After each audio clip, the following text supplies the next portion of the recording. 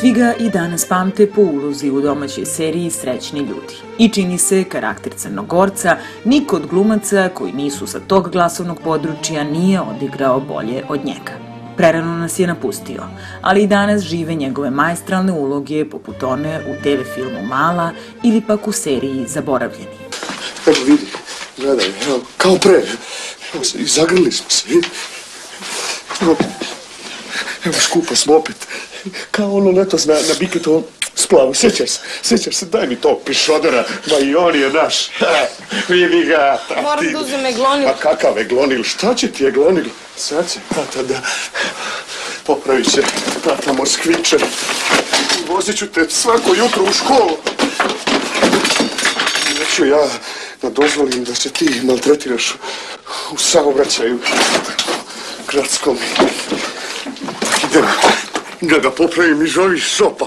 Ma neću njega da, da mrdam dok ne bude sve gotovo. A sutra uplaćuje tata zimovanje.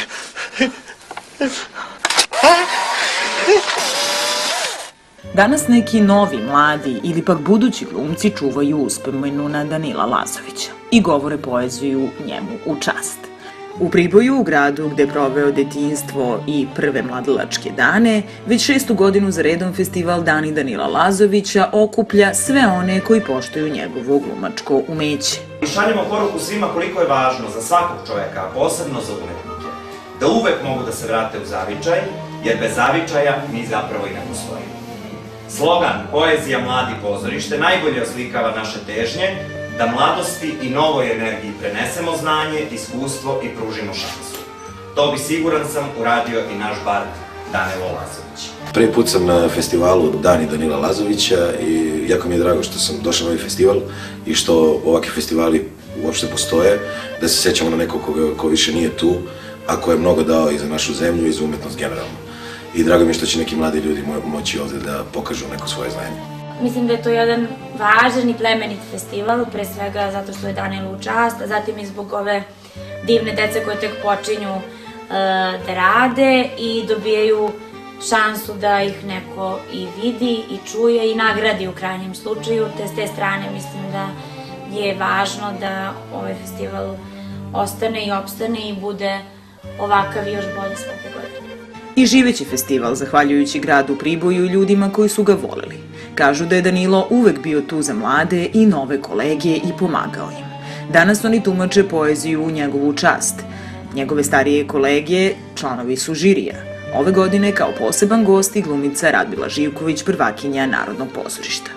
Priboj ovih dana prepun je posetilaca, održavaju se radionice scenskog govora, pribojci uče takođe. Najbolje takmičara zasluženo će sa sobom poneti povelju Danilo Lazović i novčanu nagradu, a nama ostaje da sledimo primere očuvanja i poštovanja rade naših glumaca i da to činimo i za njihovog života, jer tada je to važnije.